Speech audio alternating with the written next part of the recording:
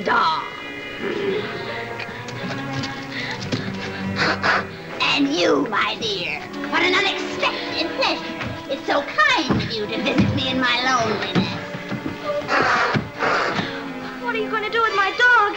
Give him back to me. All in good time, my little pretty. All in good time. Oh, please give me back my dog. Certainly, certainly. When you give me those slippers. Witch of the north told me not to. Very well. Throw that basket in the river and drown him. No, no, no. Here, you can have your old slippers, but give me back Toto. That's a good little girl. I knew you'd see reason. I'm sorry. I didn't do it. Can I still have my dog? No, fool that I am. I should have remembered. Those slippers will never come off as long as you're alive. But that's not what's worrying me.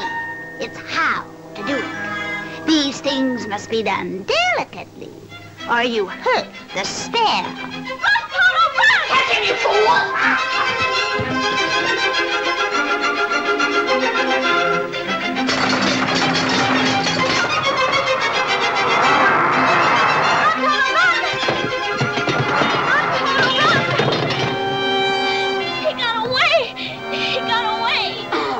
Which is more than you will. Rat you and your dog. You've been more trouble to me than you're worth, one way and another. But it'll soon be over now. You see that?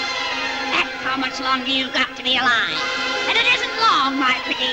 It isn't long. I can't wait forever to get those shoes.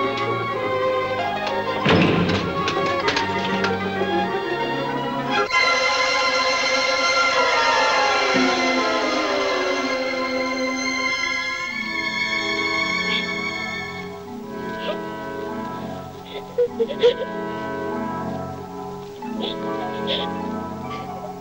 frightened. I'm frightened, Auntie M. I'm frightened. Dorothy! Dorothy! Where are you? It's me. It's Auntie M. We're trying to find you. Where are you? I'm here in Oz, Auntie M. I'm locked up in the witch's castle, and I'm trying to get home to